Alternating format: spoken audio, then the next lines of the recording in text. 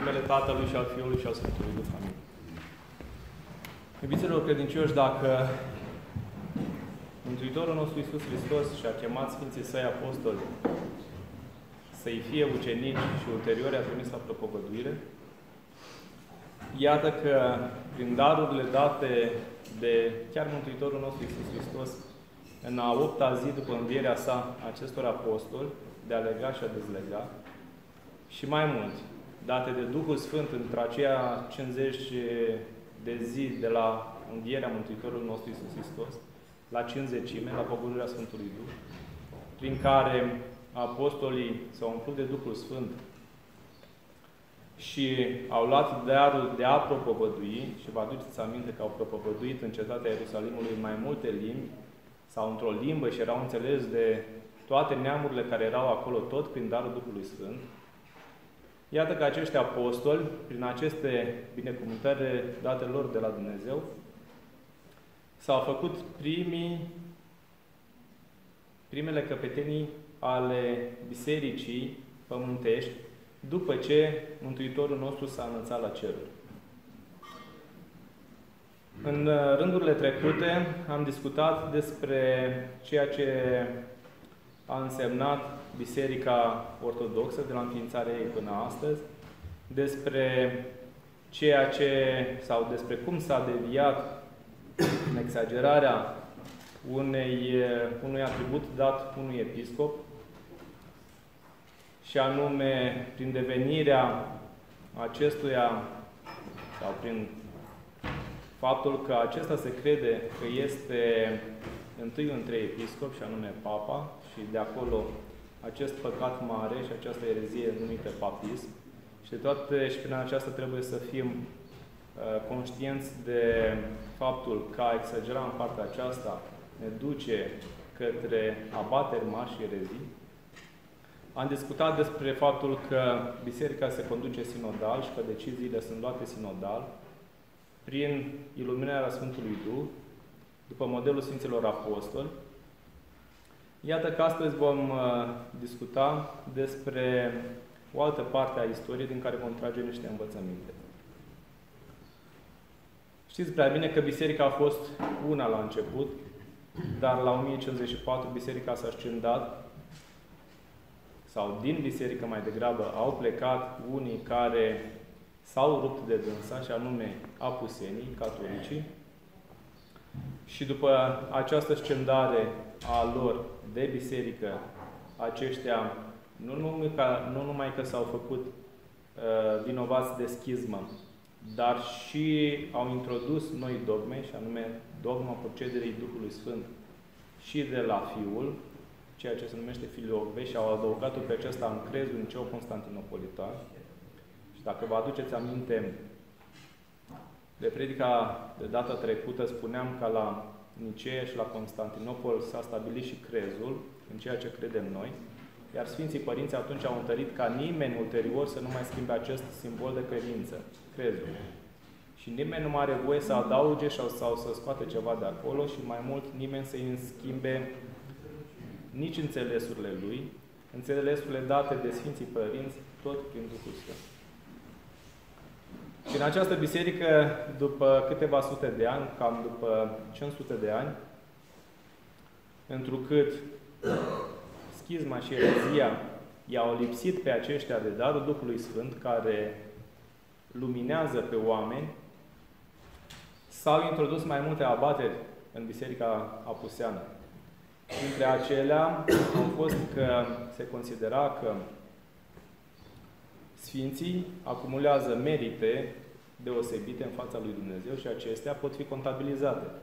Meritele tuturor Sfinților s-ar aduna cumva într-o ba, în banca a meritelor, să spunem, și ulterior acestea ar putea fi împărțite celorlalți care nu sunt uh, vrednici sau nu pot să-și îndeplinească lor și canonul de pocăință pentru păcatele făcute. Și atunci merg aceștia, sau mergeau păcătoșii la biserică și își cumpărau indulgențe. Așa se numeau aceste hârtii date de către Biserica Puseană, celor care vroiau să-și cumpere cumva mântuirea lor. Mai mult, au fost, uh, s-a exagerat cu acel primat papal, pretenția papei de a fi întâi sătătorul lumii și se înfiripau de pe atunci și pretențiile că papa ar fi aproape infailibil. Această dogmă ulterior s-a împământenit în Biserica Apuseană pe la 1800, dar uh, nimic din acea biserică, să spunem, nu se mișca sau nu se statua decât prin încumințarea, să spunem, a papei.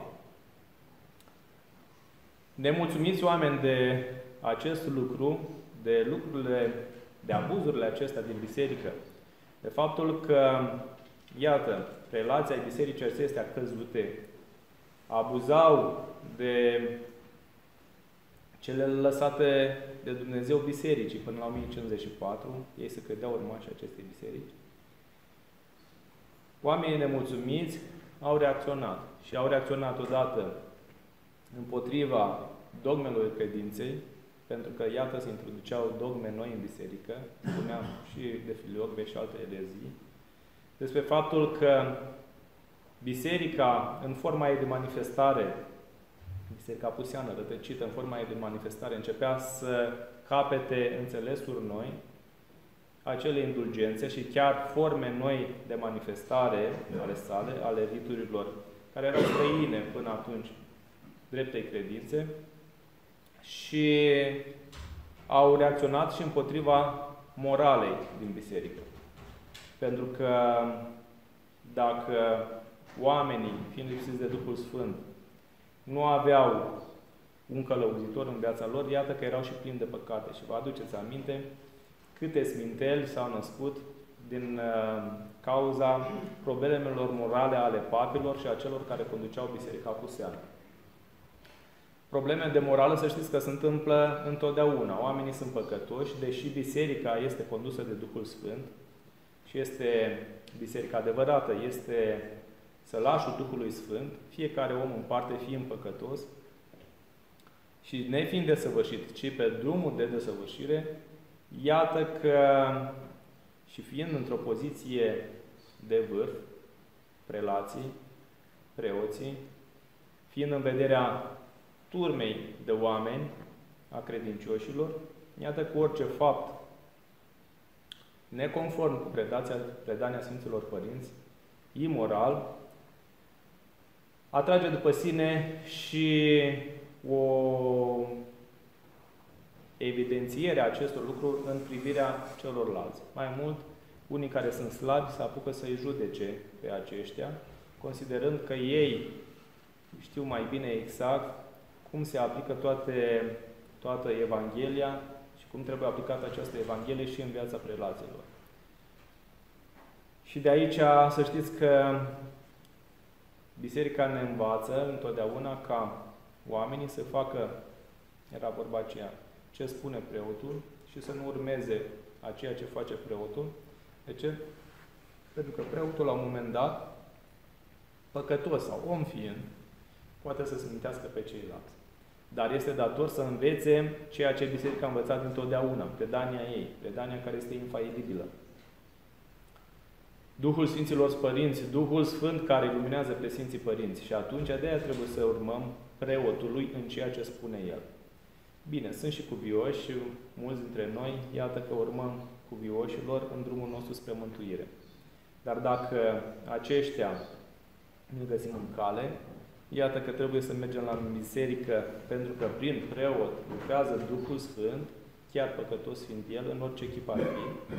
Iar dacă preotul sau clericii sau biserica în întregimea ei pică în probleme de credință, au devieri de la dogma sau de la înțelegerea corectă a Sfintei Credințe, abia atunci Duhul Sfânt nu mai lucrează prin acei preoți. Și de aia este, trebuie să înțelegeți că oamenii trebuie să urmeze la biserică indiferent de vrednicia sau nevrednicia preotului.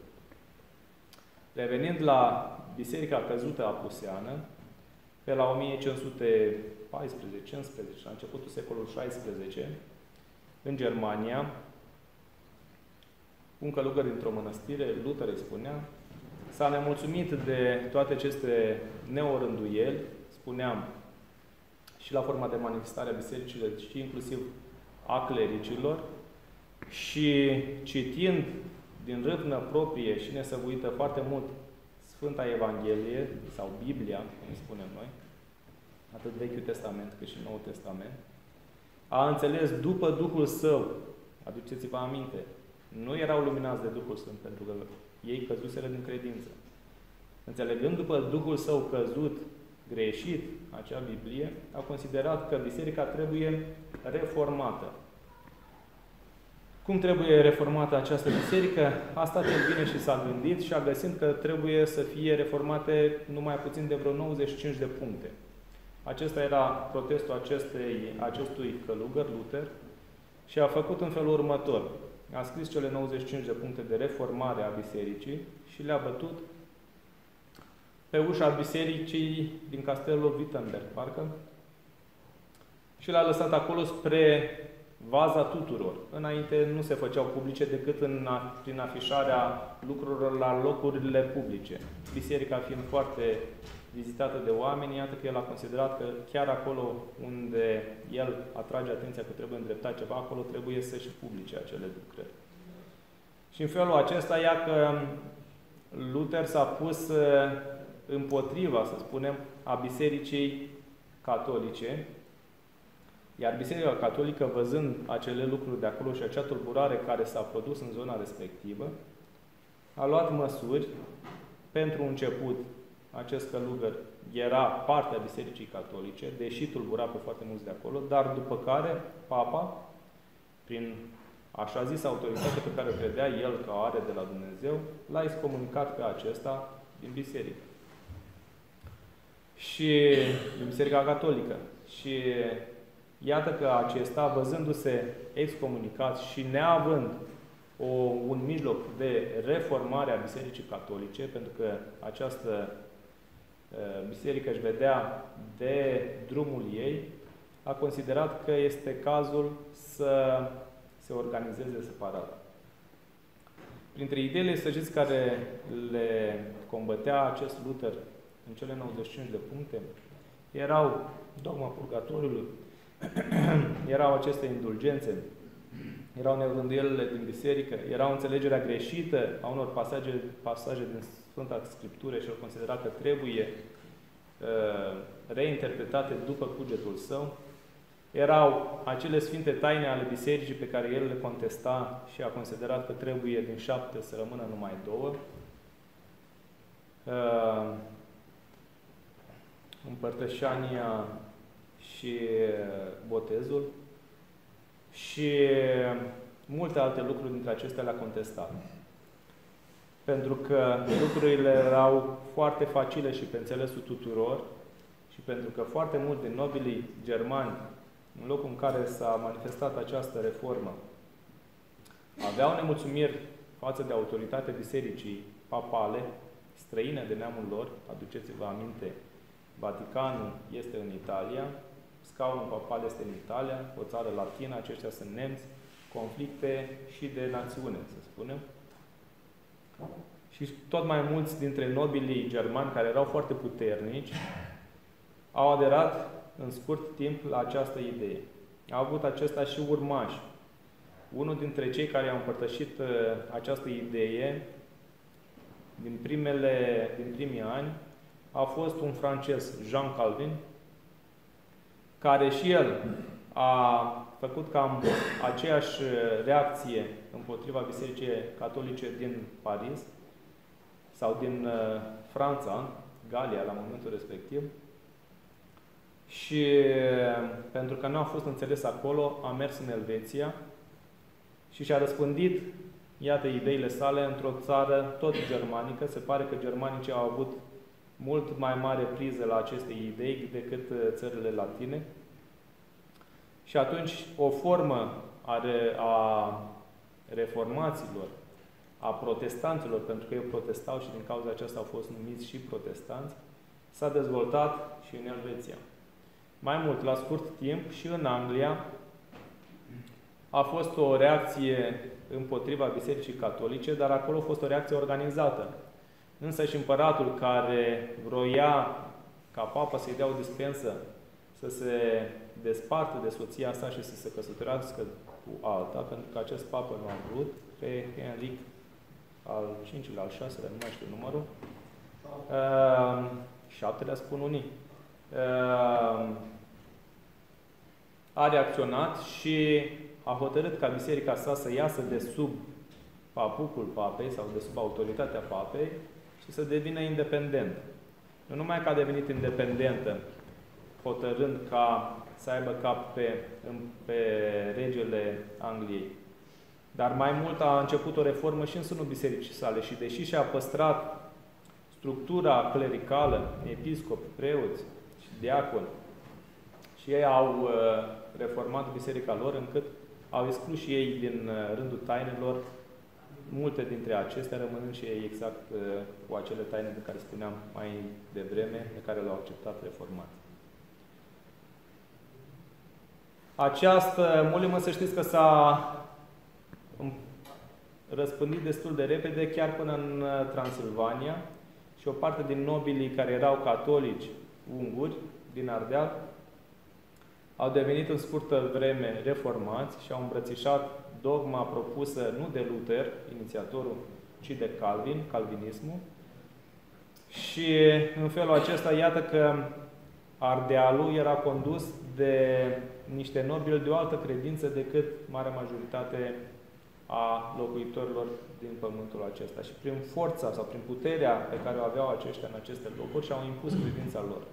Astfel încât ungurii au trecut în bună parte la reformă de partea calvinilor.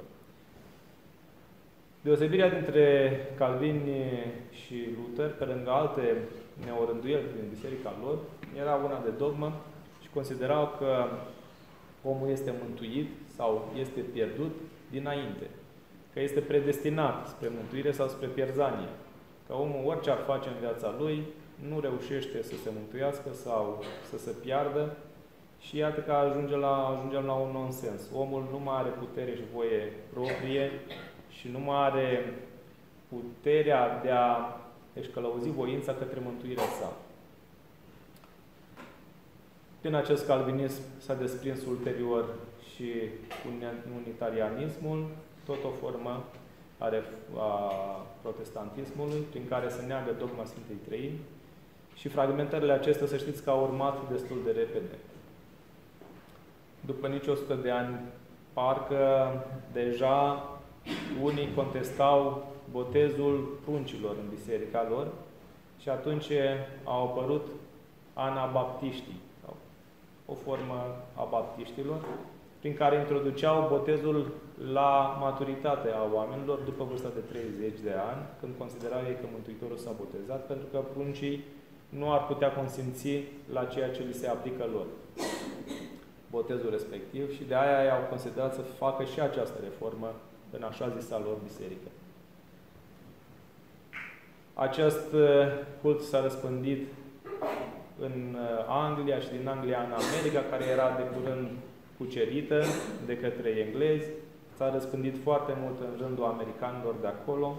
Au apărut fragmentări inclusiv în rândul americanilor și fiecare avea tendința de a interpreta singur Evanghelia tot cultul bisericii dispăruse în rândul acestor biserici reformate. Nădăjduiau numai în minecătură, în împărtășire. Dacă primii reformați Luther sau primul reformat și urmașii lui vedeau că Hristos este în așa zisa lor împărtășanie, Calvin considera că Hristos este prezent numai în, schip, în chip spiritual acolo, Împărtășania este numai aducea aminte, nu este însăși ștrupul și sângele Mântuitorul nostru Iisus Hristos.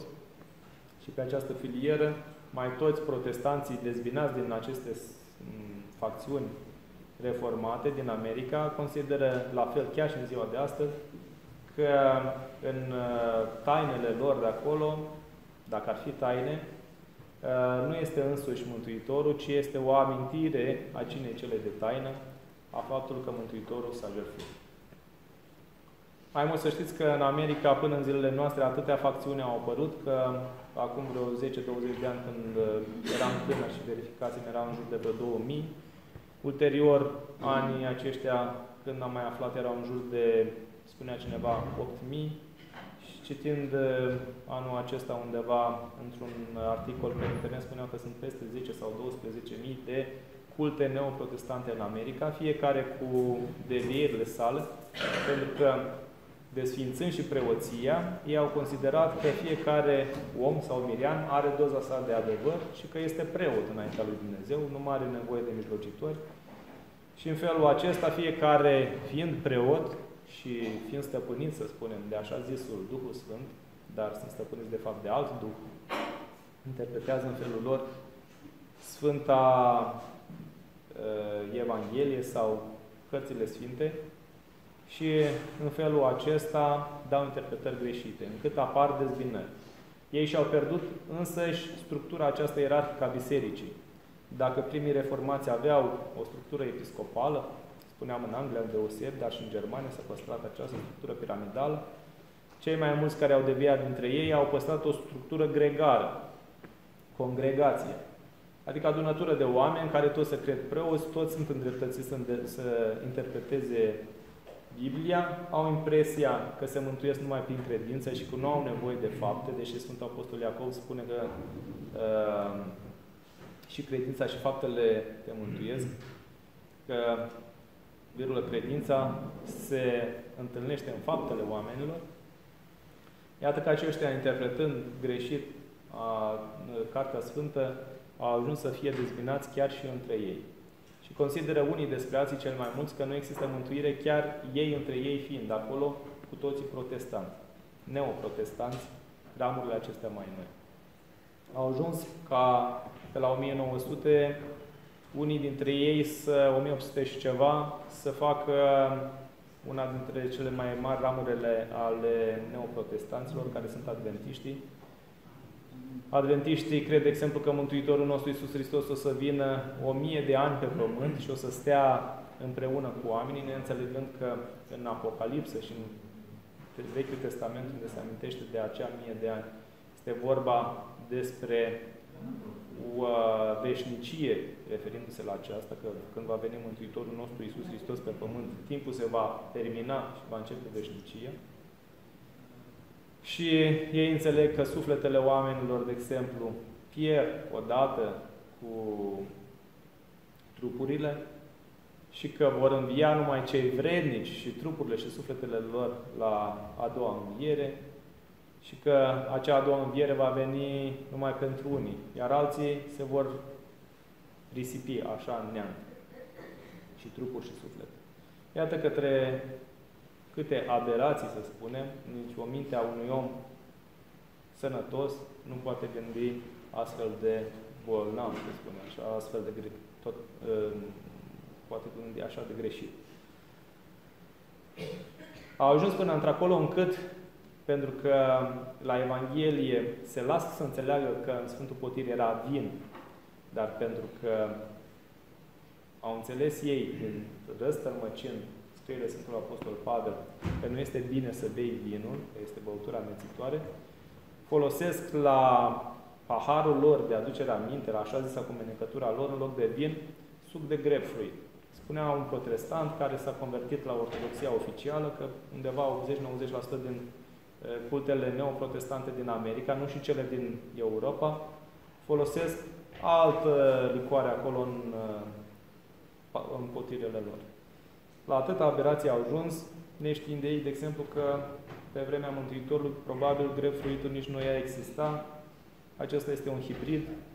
Hibrizii sunt relativ recenți, oamenii au încrucișat. Între două specii diferite apare o a treia ca de mijloc. Iată că în nebunia lor au ajuns să pervertească totul. Protestanții care au venit în Europa, în schimb neoprotestanții, pentru ca să se dea drept înaintea credincioșilor din Europa și au ajuns inclusiv până în România, folosesc vinul în potirele lor acolo, când se împărtășesc ei. De ce? Pentru ca să nu-i smintească pe ortodoxi, de exemplu, din România, care îi folosesc vin. ar fi o nebunie să-și pună și ei sub de grefuit acolo, pentru că oamenii și-ar da seama de căderea lor cât este de mare. De aia trebuie să ne ferim de toate aceste culte care învață greșit și care au niște dogme total greșite. Martirul lui Jehova, despre care ați auzit, neagă inclusiv Dumnezeirea Mântuitorului nostru Iisus Hristos, neagă Sfânta Treime, neagă multe lucruri, au, răstăl, au răstălmăcit chiar și Biblia lor răstălmăcită, într-așa fel încât multe cuvinte le-au scos de acolo și le-au schimbat cu altele, și după ce ajungi, unii care se lasă convertiți în cultul lor, nu li se dă Biblia, Biblia să o citească a lor în primii ani, ci după ce Duhul acela înșelării intre bine întrâns și li se dă Biblia și iată că ei cred întrânsă. De ce am vorbit despre aceste culte protestante și neoprotestante și în mare despre devierile lor? Nu am atins decât în mică măsură uh, particularitățile lor, pentru că există riscul ca fiecare persoană care consideră că nu este nevoie de biserică autentică care să mijlocească sau să fie locul în care oamenii să-și găsească mântuirea lor, aduceți-vă aminte, biserica s-a înființat la cenzecime, din primii apostoli și primii 3000 de oameni care au văzut minunea aceea pogorârii Sfântului Duh și la prima predică a Sfântului Apostol Petru. Iată că unii consideră că între el și Dumnezeu nu mai este nevoie de nimeni altcineva și consideră și aduceți-vă aminte de sloganurile unulea. Crezi tu în Dumnezeu? Cred. Și mergi la biserică? Nu merg. De ce? Pentru că el am pe Dumnezeu în inima mea și n-am eu nevoie de Dumnezeu. Cred eu în felul meu, dar sunt credincios, zice omul. Ei, asta este prima formă de protestantism.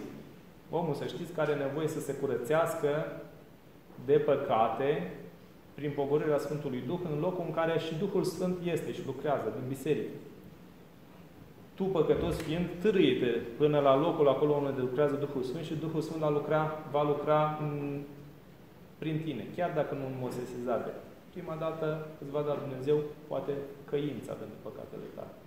Dar dacă vei încerca să comunici, păcătos fiind și necurățit cu Dumnezeu, încă în fapt, încă tu ești în legătură directă cu Dumnezeu, iată că Duhul înșelării va veni peste tine și îți va da ție gânduri altele decât ar trebui să-ți dea pentru ca tu să fii în comuniune cu Dumnezeu.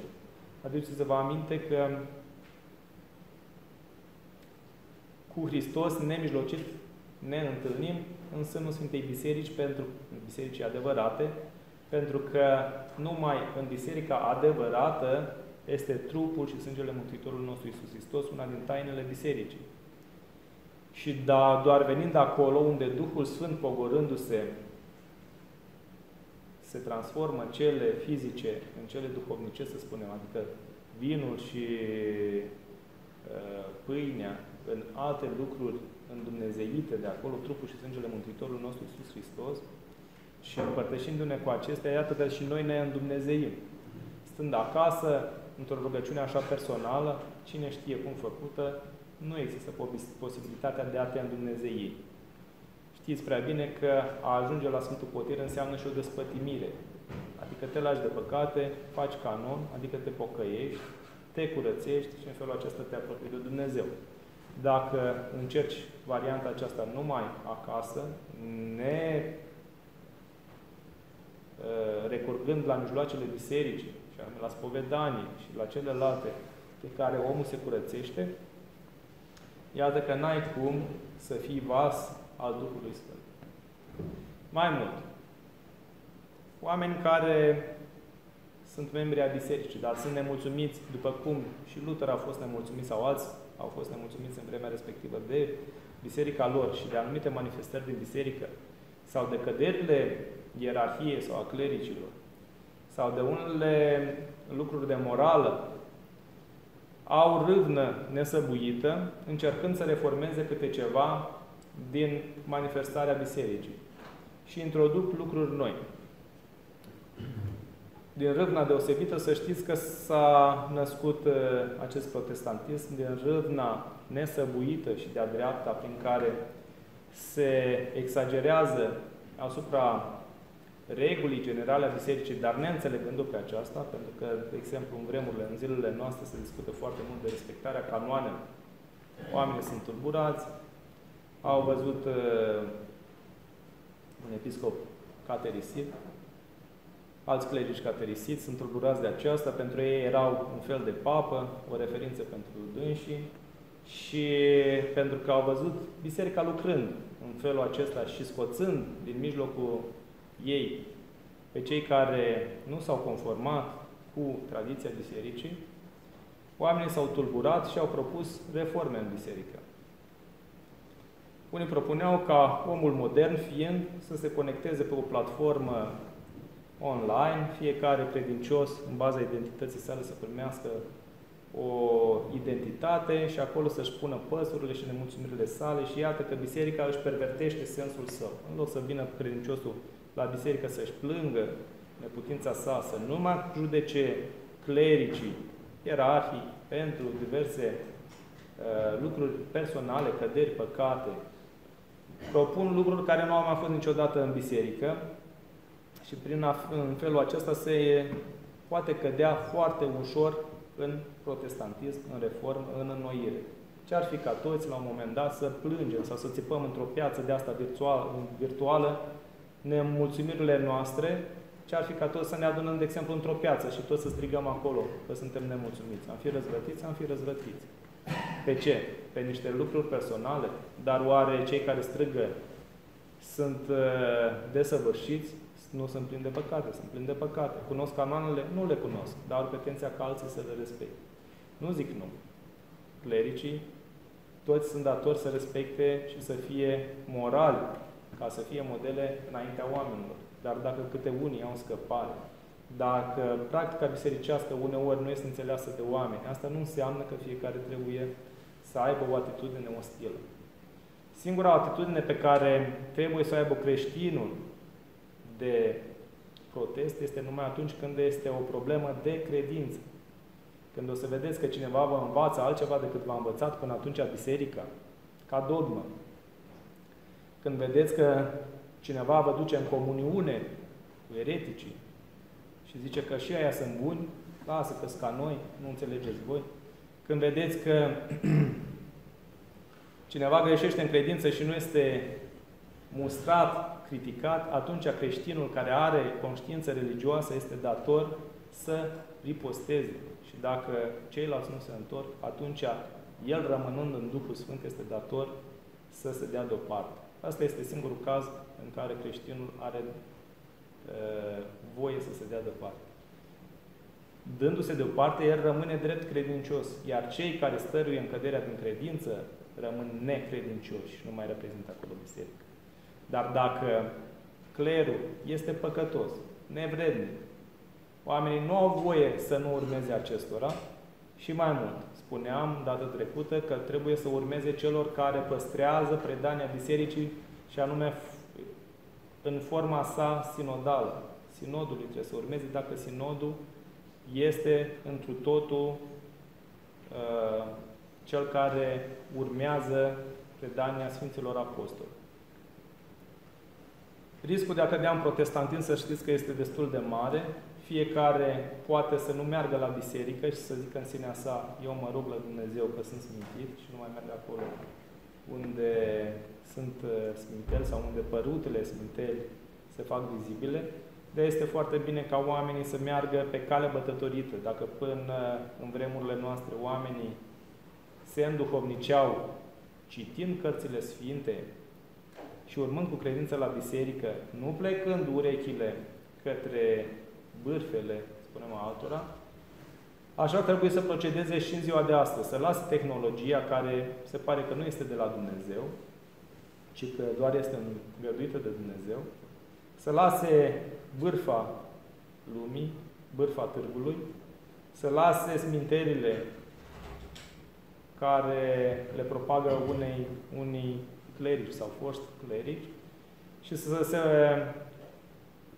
cantoneze numai pe trăirea într Hristos și pe adevărul de credință. Dacă vor avea aceste lucruri, vor fi în biserică.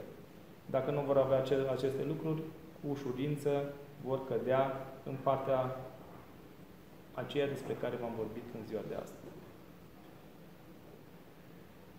De aia vă rog ca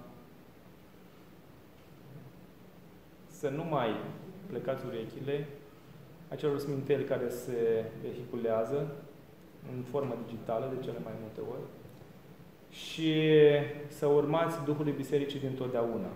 Identificați Biserica cu Duhul Sfânt, identificați Biserica cu acea ierarhie, cu clerul și cu turma oamenilor drept credincioși. Unde sunt acestea?